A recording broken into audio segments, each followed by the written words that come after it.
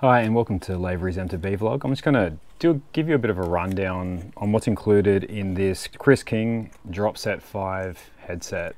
Now these things are, are pretty high end and um, you know really this should be the last headset you need to buy for your bike. Um, I've had to replace uh, bearings in my headsets before. These ones have a lifetime warranty. So I'm just going to give you a bit of a rundown on what's included in this. Uh, and also I ran into a bit of an issue. This has been installed on my bike before and I ran into a little bit of an issue with the, the grip lock component. So I actually want to show you that. And yeah, I found some forums where it looked like people might have had the same issue, and none of these forums really led to the solution. So, um, and I think yeah, it's because there's a bit of user error involved.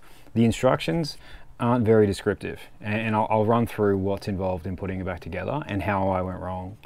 So uh, without further ado, let's run through it. Okay, so that's how it all comes together. This bit of cardboard here within a bag. We unscrew the, uh, the star nut here at the bottom. There's our star nut. And we've got our lower bearings our upper bearings.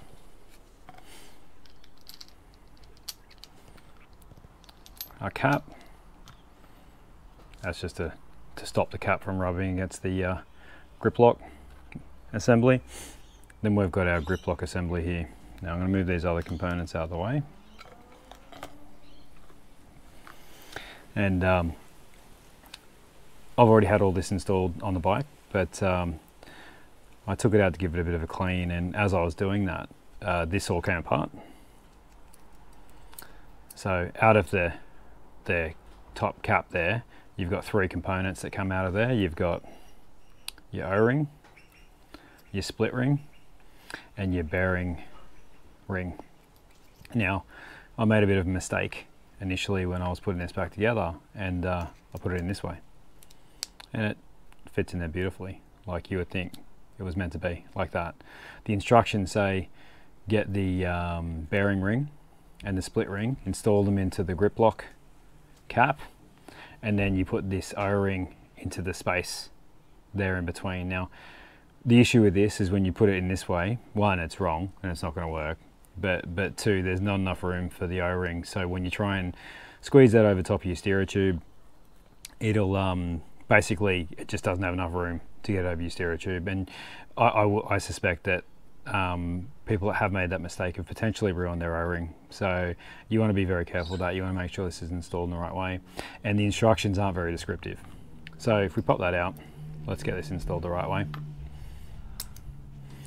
Now, it makes sense.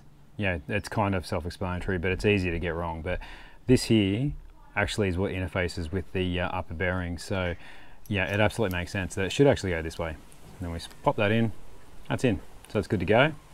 And then what we do is we just get this O-ring, we install that in the gap up the top. It's that easy. And then we're good to go. So that is the um, grip lock actually installed in the right way.